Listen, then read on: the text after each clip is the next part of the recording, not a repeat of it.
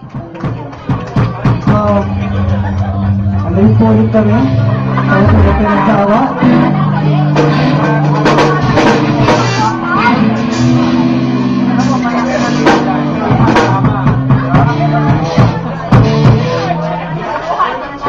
Thank you.